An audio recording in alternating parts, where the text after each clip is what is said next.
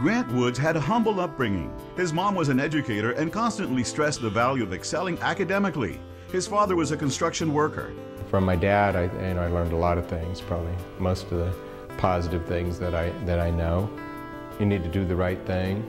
And so he did. He's just that kind of person that um, you know, really stands for um, what he means and he, and he, and he takes action and he's, he'll always be there he's consistent.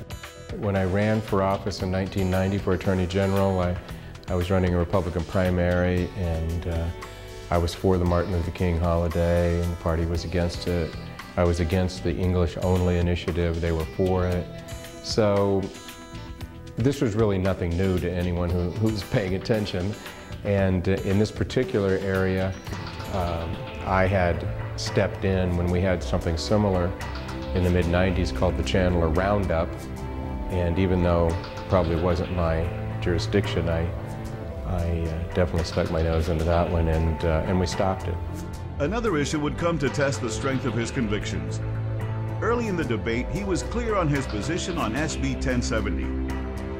We have kids who are growing up in an environment that is negative because um, of their Mexican heritage. It's not right, and I think it's unconstitutional. So as a constitutional scholar, I had no problem in my view on that. Arizona and the country were consumed by the contentious piece of legislation. For Grant, the stakes were high to come out publicly against SB 1070. As co-chairman of Governor Brewer's campaign and co-chairman of Senator McCain's campaign, both of whom had, were supporting it, I, I think on the one hand that, that reflects well on them. They didn't throw me over, and uh, I didn't throw them over. You know, we just disagreed on that one. Uh, but it put me in some unusual positions on the campaign trail. When I worked for Grant, um, you know, I was just a line attorney, and you know, obviously Grant was the Attorney General. When you went into his office on any issue, whether it be immigration or civil rights, you never worried about what he was thinking. I know from being a native Arizonan that um, our Mexican heritage is part of what it means to be an Arizonan.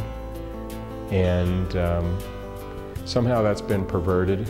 Positive change is heavily laid upon the backs of leaders such as Grant Woods. You also ultimately have to be willing to stand up and pay the price uh, and realize that even if you don't succeed at the moment, or maybe ever in your lifetime, what's right is right.